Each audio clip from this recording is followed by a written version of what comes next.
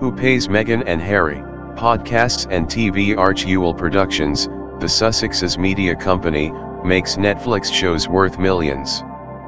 Spotify hosts Archewell's Archetypes podcasts about renowned women. Harry and Meghan were not compensated for their March 2021 interview with Oprah Winfrey. Harry and Meghan win Human Rights Award. Books Meghan's 2021 children's book The Bench, Spare, Harry's autobiography, comes out on January 10, 2023. Penguin Random House will donate $1.5 million, 1.3 million pounds, to Sentebale and 300,000 pounds to WellChild. Other BetterUp's chief impact officer is Harry.